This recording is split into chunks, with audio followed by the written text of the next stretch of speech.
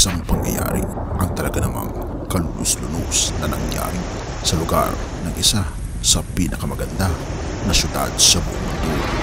Ano nga ba ang nangyari sa lugar ng Dubai? Atin itong pag-usapan mga kaibigan.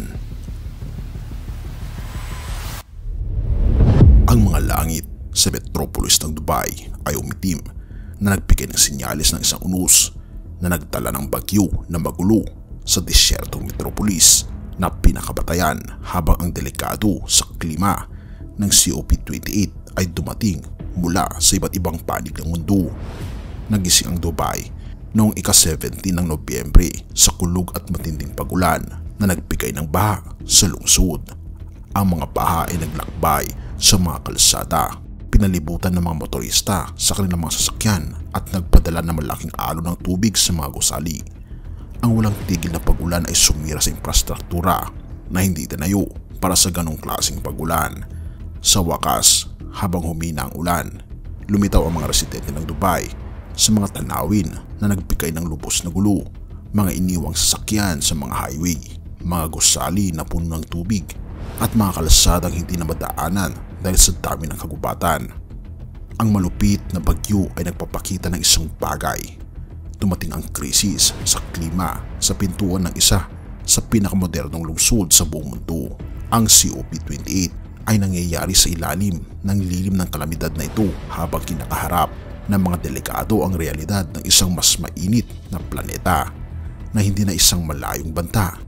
Ang pagbabago ng klima ay naging sanhi ng pag-angat ng Dubai laban sa kanyang sarili ang panahon para sa aksyon ay maikli. Alam ng mga delikado. Subalit habang sila nagpupulong upang isaraysay ang tugon ng sangkatauhan, ang mga basa sa Dubai ay nagsisilbing malinaw na babala. Ang pag-antala ay may kamahalang taglay. Sa video na ito ay makikita natin ang epekto at dahilan kung bakit malaki ang epekto ng pagbabago ng klima sa Dubai. Ngunit bago tayo magpatuloy, kung bago ka lang sa ating channel mga kaibigan, ay naanyayaan kita na mag-subscribe sa ating channel at lubos itong makakatulong para mas dumami ang mga impormasyon na ating matatalakay at matutulungan din ang ating channel na mas lumago pa at makatulong sa mas maraming mga tao.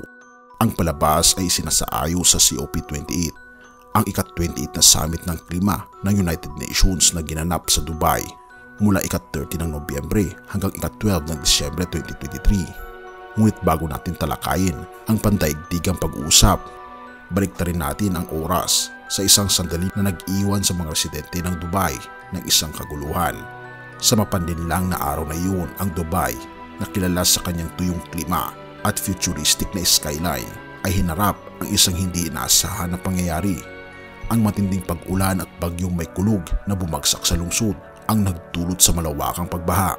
Isang kalamidad na hindi inaasahan na makita at makikita mo lamang sa isang pelikulang blockbuster.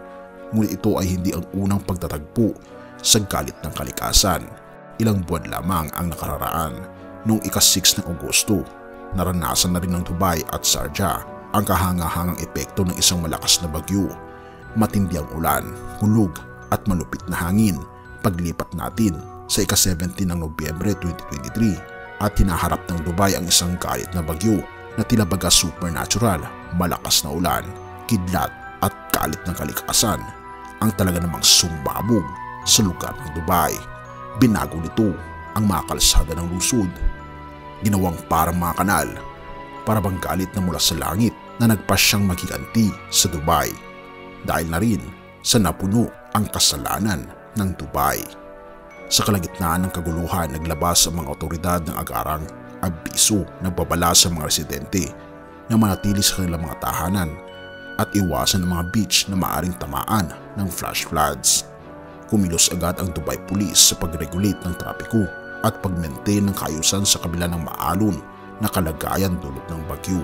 Sabay-sabay naman ang UAE National Center of Meteorology na naglabas ng yellow at orange alerts dahil lumalakas ang ulan at tumitindi ang masamang kondisyon ng panahon ang mga sistema ng transportasyon ay lubos na naapektuhan, nakakaimpreno sa trapiko sa kalsada at operasyon ng eroplano sa buong Emirates.